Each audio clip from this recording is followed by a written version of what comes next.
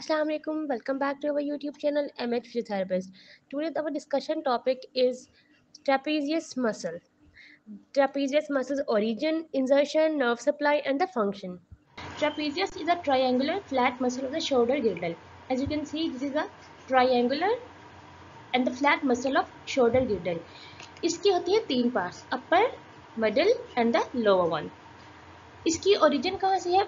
अपर part की reason होती है medial third of superior nuchal line and external occipital protuberance external occipital bone से uh, हमारे ट्रेपिजस का फ़र्स्ट पार्ट ओरिजिनेट होता है और इंसर्ट करता है लेटरल थर्ड ऑफ़ क्लेविकल पे।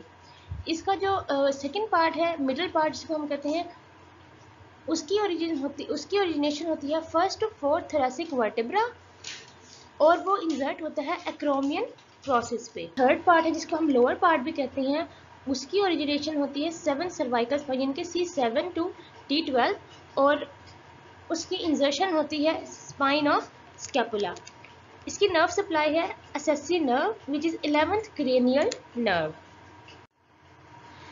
action इसके क्या है? एक्सटेंड द नेक हमारी नेक की extension like this upper fibres of one side laterally flex the neck हमारी इसके ट्रेपीजियस के अपर पार्ट जो है, वो हमारी नेक को लेटरली फ्लेक्स करता है, ऐसे like this upper part elevate the shoulder हमारी शोल्डर की एलिवेशन भी होती है.